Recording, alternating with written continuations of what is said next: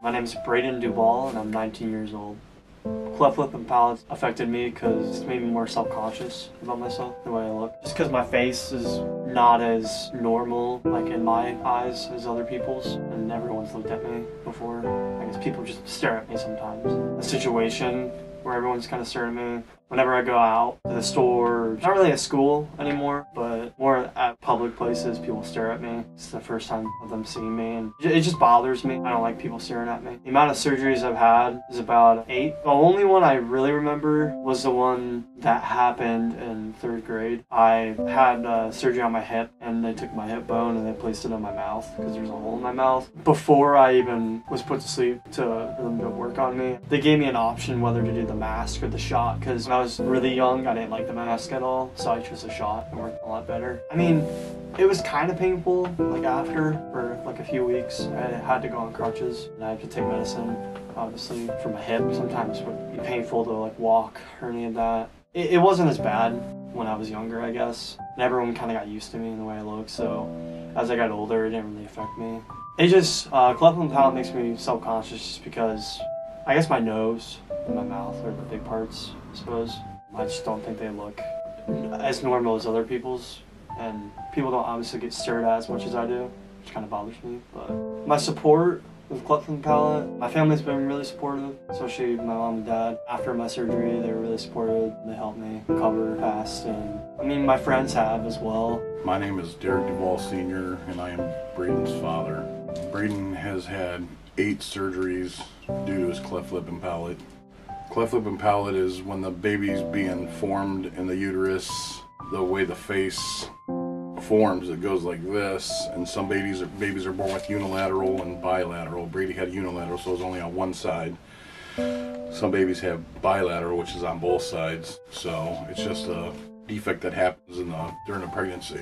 We did not know Brady was going to be born with cleft lip and palate until he was actually born. Well, he drank from a special bottle, had a super long nipple, because the normal bottle, since he had the hole right here, it would have just kept coming out. So he had a special bottle he had to use until he got his lip adhesion, and then he got his cleft repaired. He was in the hospital, and right after his cleft surgery, they're like, "Oh, he's not going to eat for probably 24 hours." He ate four hours after his surgery. He was so hungry. I'm sure it was painful, but he wanted his bottle, and he had to wear arm braces when he was little. When he first got a couple of his surgeries when he was a baby, so he didn't pull on the repairs that they were doing. So he was like, they're solid braces, so he couldn't bend his elbows. You can live cleft lip and palate without it being repaired. It'll make your life a lot more difficult. Luckily, the surgeon that he went to was one of the best in the country, or the best in the country. He did go with this thing called Smile Train, where he goes overseas and helps kids in underprivileged countries have the surgery because they can't afford it. But the surgery actually makes it their life easier. If they can live with it, it's just going to make their life a lot harder.